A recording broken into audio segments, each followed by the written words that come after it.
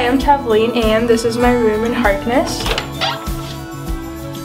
So there's a dresser right here and there's a closet right there, another set of drawers, more storage space on this side. This is my desk and it's quite spacious. There's two different compartments here, three sets of drawers, and then also a little bulletin board. I really like the whole window. It's big and you can raise the beds up high so you can put a lot of storage under there.